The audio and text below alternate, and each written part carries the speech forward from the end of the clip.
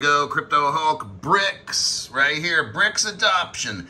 If all the BRICS countries, coalition countries, which right now there's like 94 to 130, if they're going to use XRP, this analyst is saying $10,000. I don't argue with that at all. That's not hype. That's reality. 10 grand, I say 20, 30, 40,000.